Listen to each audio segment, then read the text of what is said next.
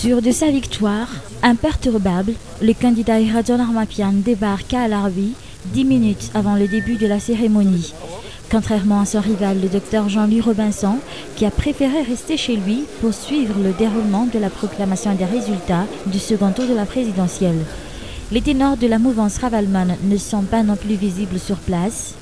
Quelques candidats malheureux au premier tour honorent l'invitation de la Sénite.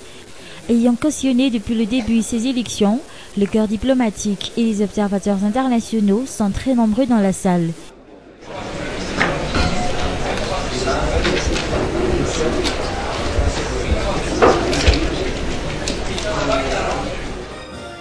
Face aux différentes allégations de fraude véhiculées dernièrement, Atala Béatrice a fait un bref rappel des principales missions de la commission indépendante.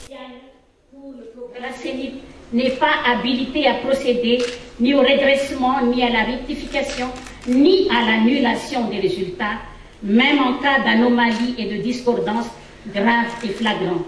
La CENIP a porté uniquement sa vérification sur l'exactitude des décomptes des résultats effectués par les bureaux de vote et les sections de recensement matériel de vote sans avoir touché à la répartition des voix obtenues par chaque candidat dans les procès-verbaux des opérations électorales et les feuilles de dépouillement.